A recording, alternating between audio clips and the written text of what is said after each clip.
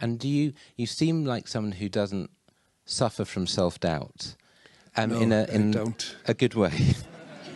Whereas I am only composed of self doubt. That is my only distinguishing feature. How how how do you trust your judgment?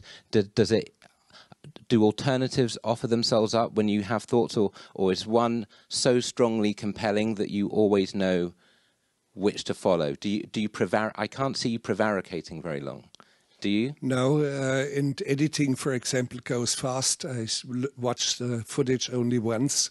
I take notes, so, so, so log books, so to speak, in longhand, and I can re recapitulate uh, long, long, long sequences, many hours, up to 30, 40 hours, and I make my choices very quickly and I stick to it. Mm. And uh, there hasn't been much doubt in, in me ever. It's kind of ridiculous.